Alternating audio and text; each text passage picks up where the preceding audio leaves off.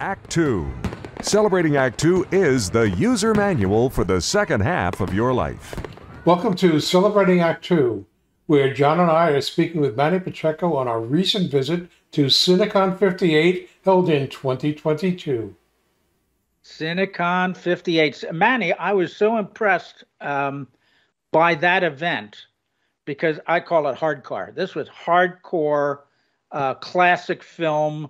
Yeah. A lot of stuff that's never been seen before came out of the museums, things like that. But I was also impressed with the quality of the presenters. Many of them were experts, authors, well known people. One of them happened to be Manny Pacheco mm-hmm. of Forgotten Hollywood. You that was a great honor. Yes. You got to they chose you to introduce a Spencer an old Spencer Tracy film, which by the way we were not allowed to film, so I don't have any clips of it. Right. Well, the, the, it had to go back to the studio. Fox, Fox would, would yeah, they would have a cow. Mm. Fox, Fox would have a cow. There you go. That's that's. Yeah. Uh, no, I, yeah, it was really an honor, and, and and double the honor that I get to introduce my favorite actor of all time. Uh, and it was it was Spencer Tracy who came out of the Fox years. You know, everybody knows him from MGM, very few actually remember that he started his career at Fox. And even more importantly, they were showing a movie, The Mad Game, which happens to be a gangster film. And let's face it, Fox Studios were not known as a gangster studio. I mean, that that honor goes to Warner Brothers. You know, James Cagney, Paul Muni, uh, uh, Humphrey Bogart, Edward G. Robinson, George Raft. Fox was just not known for that. And yes. so the idea of associating Spencer Tracy as a gangster was, I think, a unique concept. And and people don't remember him as playing gangsters, but here's here's the facts about this. He was discovered on Broadway by John Ford, the famous director, in a play that was celebrated in the late 1920s. It was called The Last Mile. It's about a gangster who is about to go to the electric chair. Originally, it, I believe it was originated by Clark Gable. Clark Gable was plucked from the Broadway play to go into movies. He was replaced by Spencer Tracy. And Spencer Tracy, of course, does a magnificent job as well, maybe even better.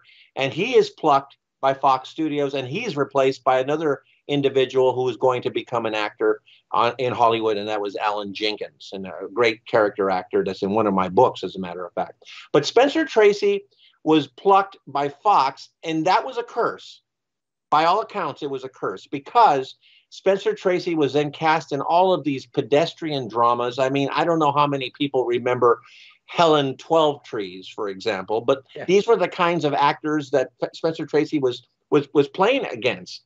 And he was put into these really sappy uh, dramas that really didn't go anywhere. Fox was still trying to find itself. This is before film noir. This was before Shirley Temple. And so the big star was going to be Spencer Tracy, but it just didn't pan out. And he was so frustrated by all of this that he would not he would not show up for for for shootings. He really? would go on two week benders, and he would make gangster films, but he wasn't known as a popular gangster because everybody was talking about what was going on at Warner Brothers. And the one time that Spencer Tracy is memorable in a gangster movie 20,000 years at Sing Sing. It's when he was loaned to Warner Brothers. you can't make this stuff up. So now, tell me about uh, it, the Mad game, game, yeah, and Spencer Tracy and Claire Trevor. That was right. his co-star. Right. Mm-hmm. Um, I I watched the film, but I I'm not allowed to show clips of it or anything. I thought they had a great working relationship, great screen. Yeah, this is before Claire Trevor was really, really popular. I mean, almost unrecognizable. This was not later, and I mean, we're talking, you know, six, seven years later, doing Stagecoach or The High and the Mighty, twenty years later. I yeah. mean, this is an early, early work, but you can really see her brilliance. And of course, Spencer Tracy is such a natural actor. Uh, they were great together, great screen chemistry, as a matter of fact. And then able support from J. Carrol Naish and uh, uh, Ralph Morgan, the brother of Frank Morgan. When John Ford thought that he could cast Tr- Tracy in a film, it turned out to be a gangster film, and it was called Up the River. And he made it with another unknown from Broadway, Humphrey Bogart. And it's the only time that Humphrey Bogart and Spencer Tracy appeared together. In fact, Spence nicknamed him Bogey, and that stuck for the rest of his career. But I'm bringing this up because John Ford worked with him. But John Ford no- noticed something when he was on Broadway, and I think this lends to the chemistry between uh, Spencer Tracy and uh, Claire Trevor. Now, John had this kind of a rough voice, so I'm going to roughly kind of imitate it.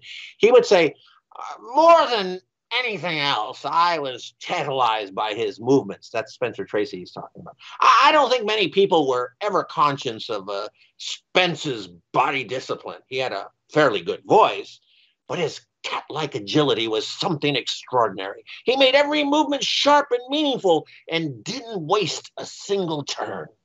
And you know, he he he knew what he was doing in the room, and while he was doing it, he could play off his actresses so well. And I think Claire Trevor, and then with Bette Davis in 20,000 Years in Sing Sing, he was working with really bona fide stars in the making. So by the time he hits MGM, now he's very comfortable opposite Joan Crawford and Myrna Loy. I mean, really top notch actresses. Yeah. So I, I, think it begins with Claire Trevor and it begins with uh, with Bette Davis, uh, where, where where Spence can really work off a leading lady and, and become a bona fide star. Because you, you, if you can't work off the stars like that, you're going to be relegated to supporting character parts. Yeah. Well, you know, uh, Manny, I, I got to tell you, I'm disappointed for our our viewers that uh, you know we can't show even clips of the Mad Game uh, it was that one-time showing in the at Cinecon, and if you want to see films like that, and people like Manny introduce them, uh, the best yeah. we can do is, is to re- replicate your introduction. we right. can't show them the film, so next yeah. time you have to go to Cinecon. Right. Let me just let, let me leave you with one thing. You know, when when um, when Spencer Tracy arrived at Fox, he was fascinated by the filmmaking process. He never studied the craft of filmmaking. He was strictly a stage actor at the time. And he walked up and down the sets and lots, and he would make friends with a future director, a real important director, Raoul Walsh, and a future star in John Wayne. He met uh, Will Rogers. Will Rogers befriended him, and they became he became an avid polo player, and and so he he learned his craft while just looking at other people work. And it's a testimony to the grit that, that Spencer Tracy had in wanting to be the best in the business. And I mean, I think he succeeded. And when he was finally kicked out of Fox, um, he lands on his feet. And here's why because at Fox, he did make one really impressive movie. And it was called The Power and the Glory, Really well done movie. Probably should have been nominated for an Oscar. He was that good.